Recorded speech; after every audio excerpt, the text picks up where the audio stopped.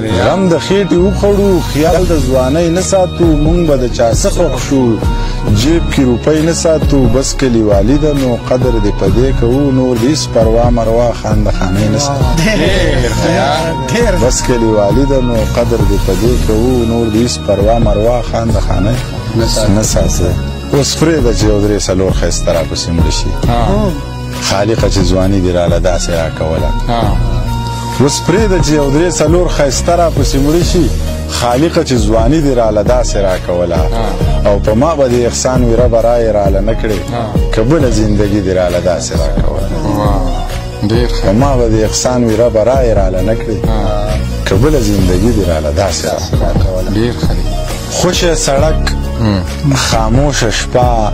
اوږد سفر زه او هغه نه موسیقي نه څه نشه واورین موسم توده ټپه پردی موټر پارسل کاوه وار په وار ګوټ پیاله یوه خوشه سړک خاموشه شپه اوږد سفر زه او هغه نه موسیقي نه څه نشه واورین موسم توده ټپه پردی موټر پارسل کاوه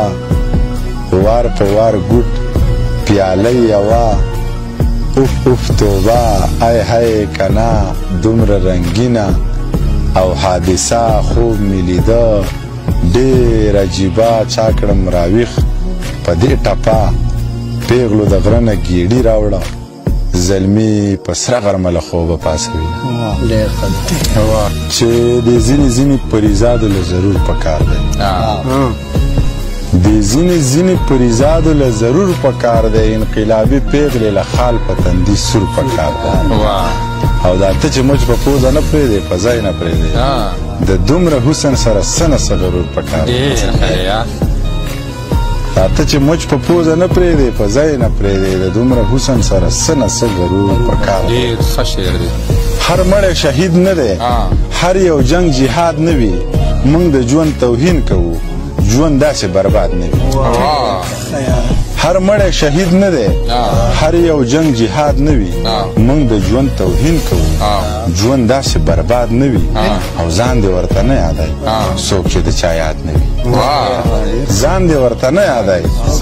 څوک چې د چا یاد نه وي او چا چې برباد کړی یم هغه خو دې ښاد نه وي چا چې برباد کړی یم هغه خو دې خاد نه وي او هر څو ګرونه نه ماتای هر سړی فرحاد نه وي هر څو ګرونه نه ماتای هر سړی فرحاد نه وي او بیا وای چې د ساقینا په ما کړه تعویز ورک دی د مولا د شکرانې اتانه ورک دی د ساقینا په ما کړه تعویز ورک